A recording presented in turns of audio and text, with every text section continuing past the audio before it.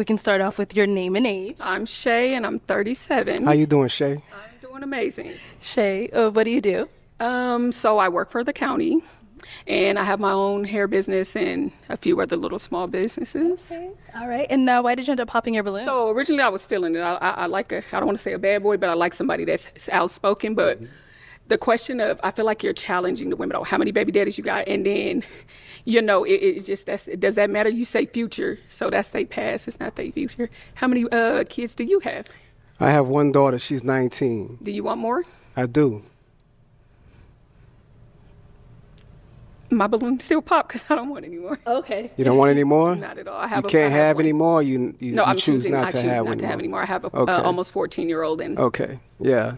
Well, the reason for me asking their past about the baby daddies because it lets me know where they're going in their future. If you didn't have, if you didn't want to have a baby daddy for the second time, then that lets me know that you was uncareful of what you're dealing with. do you necessarily Okay. believe that somebody's past is their past that don't determine their future? Not- because not- I mean, I can look at you and say, say like you, you, you made people make mistakes. And it could happen. I, I feel like once or twice, okay, some things become a choice, but No, your no, past no. doesn't determine. When it you. come to w- once is a mistake. Twice, that's on you. Okay, so then say like you get into a relationship with somebody, you get married, and things don't work. So then I guess you made a mistake, or and then so you once is a mistake, and then twice is.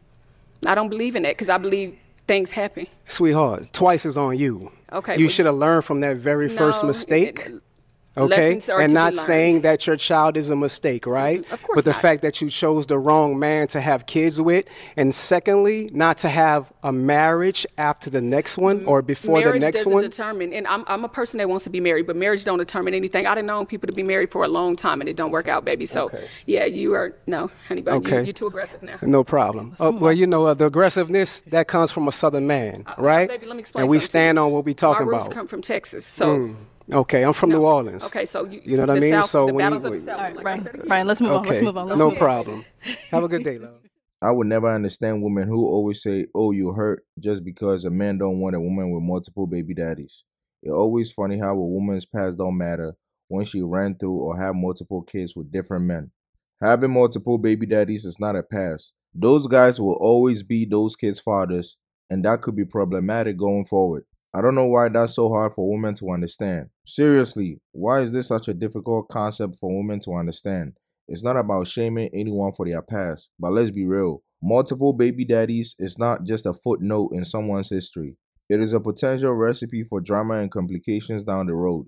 Imagine trying to navigate relationships with all those different fathers in the picture. And let's not forget the impact on the kids. It is not just about a woman's choices, it's about how those choices affect her children's lives. Stability and consistency matter, especially when there are multiple parental figures involved. So, yeah, it does matter how many baby daddies someone has, not because of judgment, but because it's a real life factor that can affect relationships and family dynamics.